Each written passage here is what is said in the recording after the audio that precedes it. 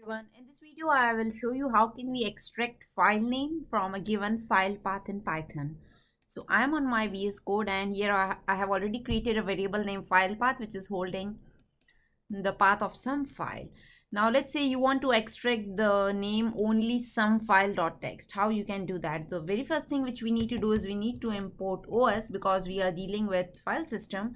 And once it is imported next thing we need to do is we need to create a variable which will be holding our file name.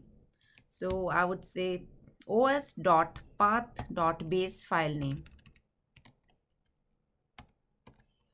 Base name. And inside base name you need to pass the variable which is holding your path.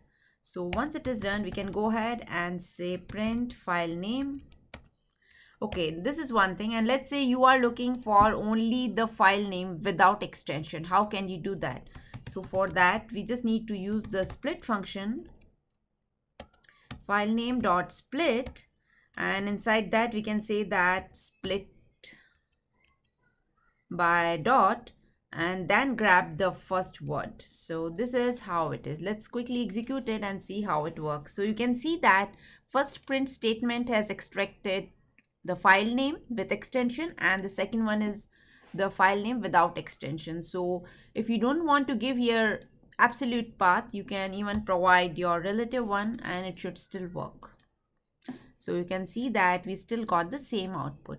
So i hope you enjoyed this short trick and thanks for watching